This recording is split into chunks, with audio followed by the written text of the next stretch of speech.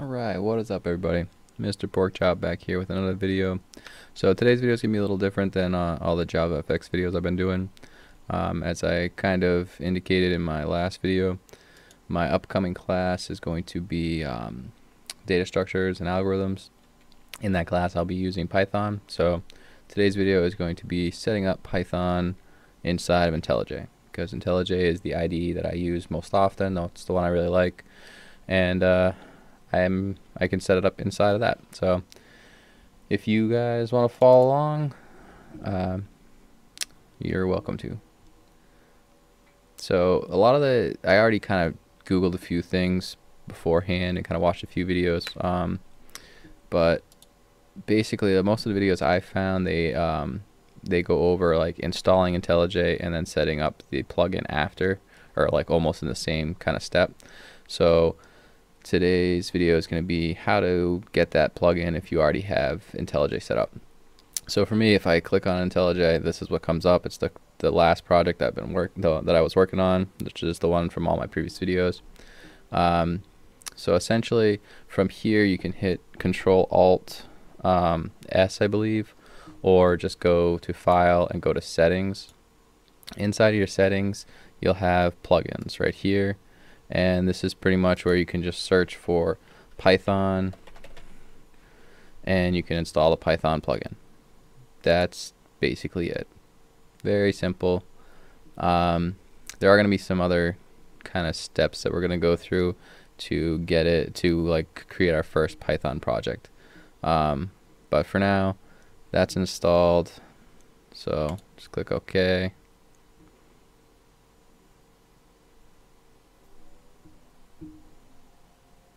All right, so I think I think the plugin's in. Um, the other thing you guys are going to want to do is actually go to, um, so just go to like, just Google search Python and uh, you can go to python.org, go to downloads and just download this. Um, so I already have it on my computer, but you're going to want to do that as well. So once you download that, then you can add the plugin to IntelliJ and now let's just try to open a new project. And now that we have our plugin, we should have right here Python as an option. Um, so it says no SDK. I should be able to just add it. So this is the part I was a little unsure about. Alright, let's see if that worked.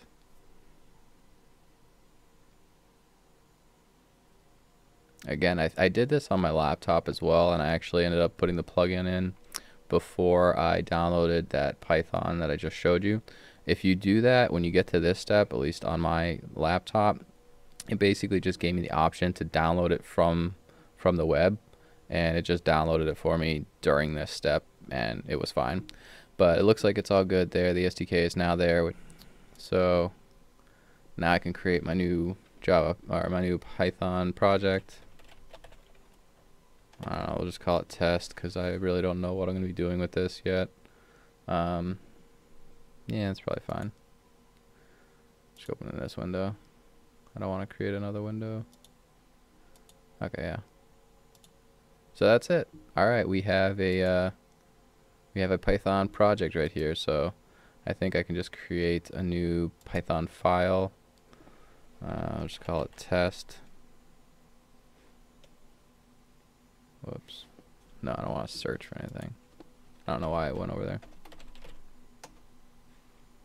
Alright. I don't know if the naming convention is right. I don't know if it's supposed to be capital or not. Um, sometimes they're specific about that. I haven't really got into my class yet. Um, like I said, I kind of just peeked in it a little bit and uh, found that um, found that I was going to be using Python. So uh, I figured I would get it set up. I just wanted to basically do exactly what I did here, get it set up in IntelliJ, and be able to actually create Python programs inside of IntelliJ. So just uh, give me one second here. I'm going to pause this, and then we'll write a little bit of code in um, Python as soon as I open up my class and kind of find one of their examples. And I'll kind of walk you through that just to get like a very beginner's, um, you know, test of Python.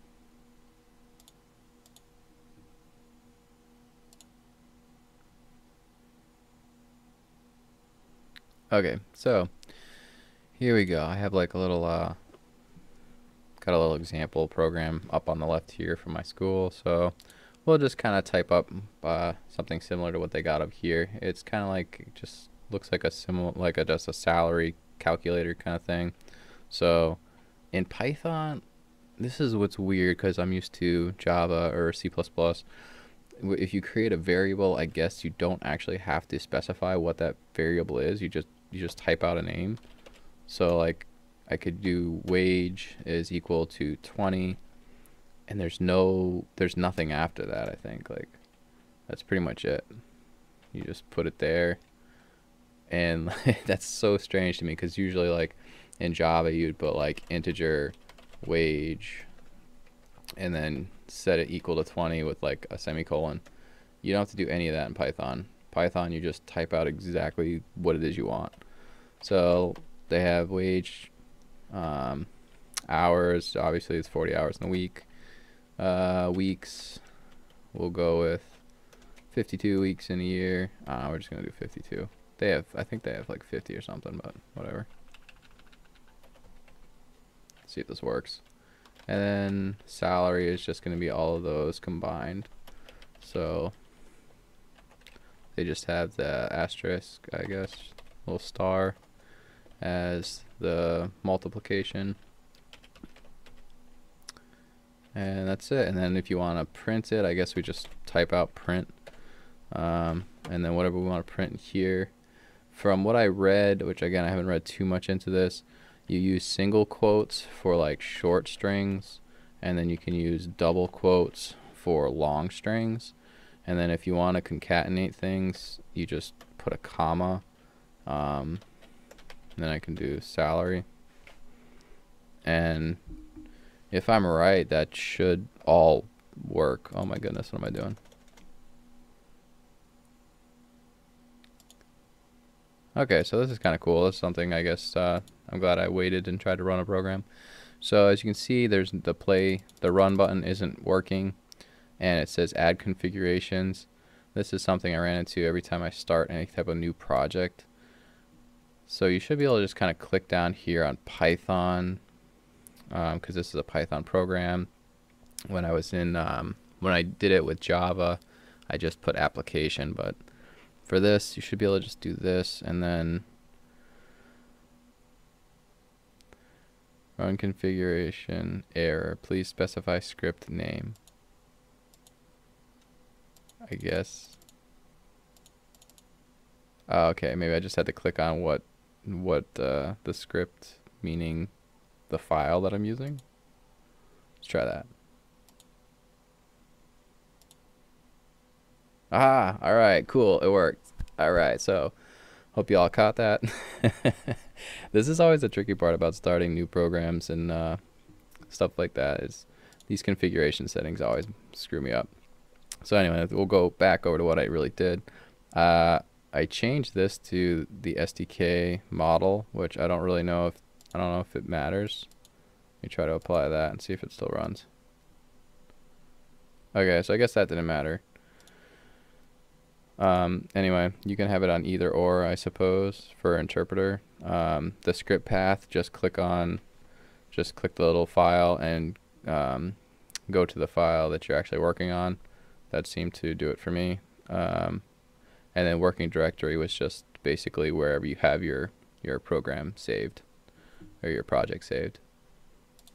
But yeah, that seems to work. All right, so it does everything, does all the calculations that's pretty much it. I know it's just like a this isn't very useful as far as if you're trying to learn Python, but this will help you kind of set it up. So this will get you to the point where you can start writing Python code. So now you can find those other uh, tutorials out there that are probably a lot better that have um, much more as far as writing Python code. So hopefully you guys found this helpful if you're having trouble setting up a Python project inside of IntelliJ. Uh, that's all I got for today. Hope you guys enjoyed it. Let me know what you think. Hit the like button, subscribe if you want me to keep doing videos like this or if you enjoy these videos. Um, yeah, and comment if there's anything you guys want to see. Uh, I'll be doing more videos in Python just because of the class I'm currently in. And then after this class, I'll be doing my Software 2 class. Uh, so I'll be bringing, probably doing a lot more Java after this.